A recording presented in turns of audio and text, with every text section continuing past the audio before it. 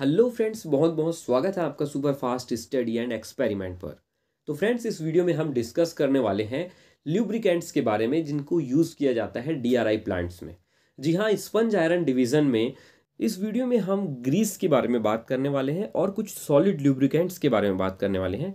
तो फ्रेंड्स, ऐसे ही industrial, technical videos, mechanical engineering field से रिलेटेड वीडियोस इस YouTube चैनल पर मैं अपलोड करता रहता हूँ।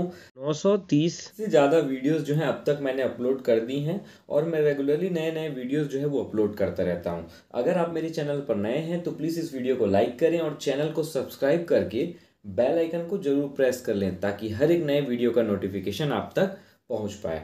तो फ़िलहाल इस वीडियो को स्टार्ट करते हैं। बने रहिएगा वीडियो में। अंत तक। तो सबसे पहले हम बात कर लेते हैं किल्न कूलर के स्लीप सील की। वहाँ पर सबसे ज़्यादा यूज़ किया जाता है S G six eighty double S को। इसके अलावा S G four sixty double S को भी यूज़ किया जाता है। अब बात करते हैं किल्न कूलर के सपोर्ट रोलर की। तो सपोर्ट रोलर में S G thousand M fifty का यूज़ किया जाता है सबसे ज़्यादा। इसके अलावा F A fifty M O का भी यूज़ किया जाता है। ई पी टू ग्रीस का भी यूज़ किया जाता है।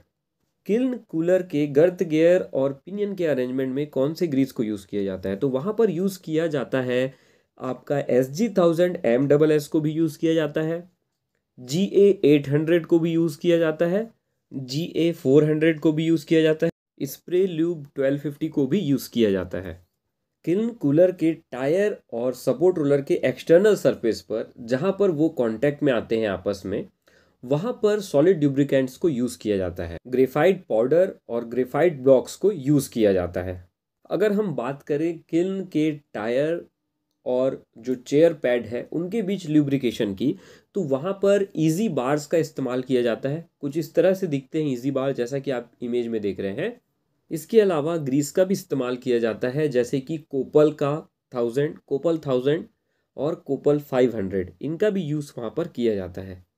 कन्वेयर बेल्ट्स की बेयरिंग्स में ID fan DD fan ABC fan CB fan और आपके जितने भी पंप्स हैं ABC pump utility pump hot well cold well pump और लोब कंप्रेसर्स इन सभी की बियरिंग्स में ई पी टू ग्रेड के ग्रीस का इस्तेमाल किया जाता है ल्यूब्रिकेशन के लिए।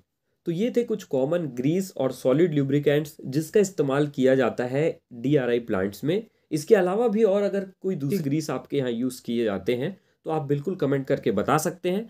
तो फ्रेंड्स उम्मीद करता हूँ ये वीडियो आपको काफ़ी पसंद आई होगी। अगर एक परसेंट भी ये वीडियो आपको हेल्पफुल लगी हो तो प्लीज़ लाइक कर दीजिएगा चैनल को सब्सक्राइब कर दीजिएगा। फिर से मिलेंगे नेक्स्ट वीडियो में तब तक के लिए अलविदा।